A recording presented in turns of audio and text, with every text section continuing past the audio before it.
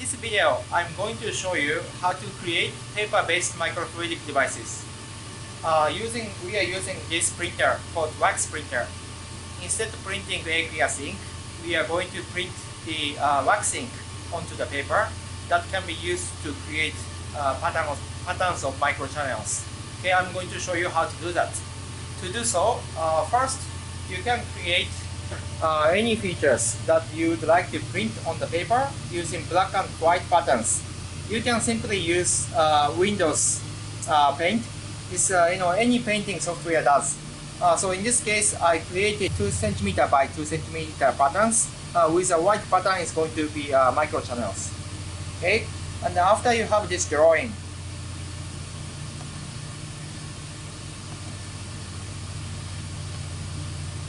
uh, you can send your design to the printer.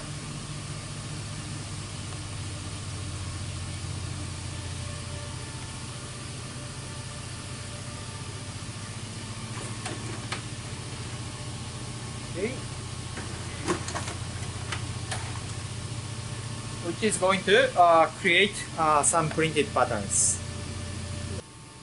So in this paper-based microfluidics, the principle is the, uh, to melt this wax uh, through the paper.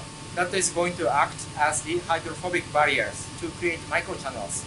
So to do so, uh, you can just cut out the pattern you created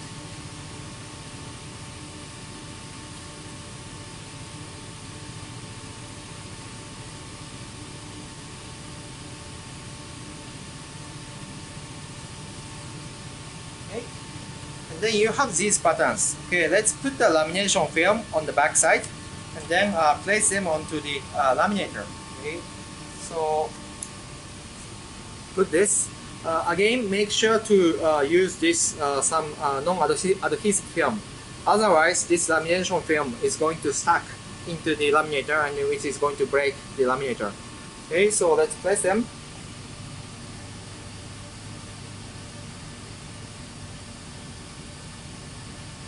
And because this laminator is really high in temperature, uh, this is going to melt the printed wax and then printed wax is going to penetrate through the thickness of the uh, paper.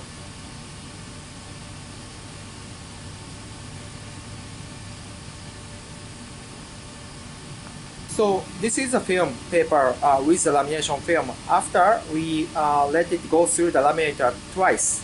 Okay, if you can see from the back side, you can clearly see this black ink is going to be uh, uh, this black ink penetrated through the thickness of the paper. On the other hand, uh, if you just have a, a printout with a wax ink without uh, let it going through the laminator, uh, you can see the back side. Okay, there is no ink that has been penetrated. Okay, so uh, after you have this film, okay, let's cut it out the unnecessary parts of the film.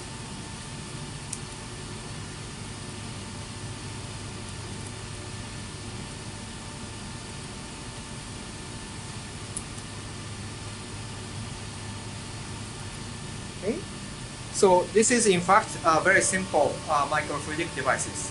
Now let's place uh, the drop of water to confirm uh, indeed okay uh, flow can be restricted. Okay, uh, here okay you can place a drop of uh, lead ink that you can see it is wicking through this paper.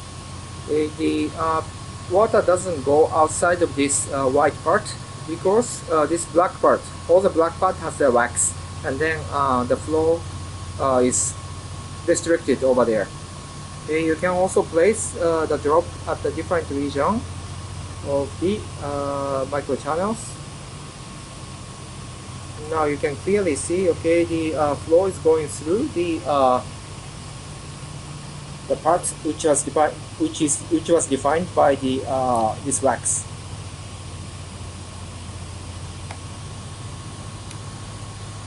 Okay it's, it's taking some time uh, eventually this is going to fill the entire uh, segment which was not printed with wax. Okay using this uh, people can develop the uh, for, for example simple uh, colorimetric assays or other type of uh, diagnosis assay. Okay so the overall this is how we created microchannels on the paper which is paper based microfluidic devices. Thank you very much